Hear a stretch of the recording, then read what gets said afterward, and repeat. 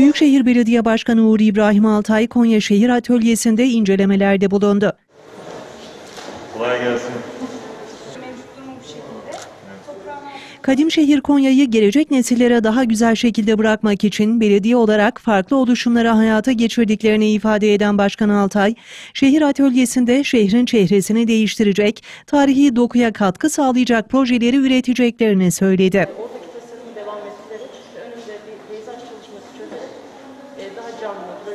Atölyede mimar, şehir plancısı, inşaat mühendisi, iç mimar ve çevre tasarımı olmak üzere dört farklı meslek grubundan 21 kişinin yer aldığını söyleyen Başkan Altay, arkadaşlarımız her zaman rol model olan şehrimizde daha nitelikli bir hayat sürdürülmesi ve gelen ziyaretçilerin kadim şehircilik anlayışını görmelerini sağlamak amacıyla projeler üretecek.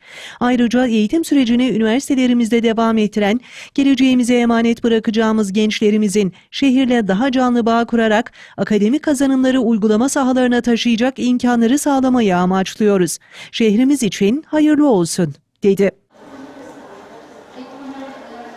Şehir Atölyesi Konya Büyükşehir Belediyesi Zabıta Dairesi Başkanlığı olarak kullanılan Tarihi Sanayi Mektebi binasında hizmet veriyor.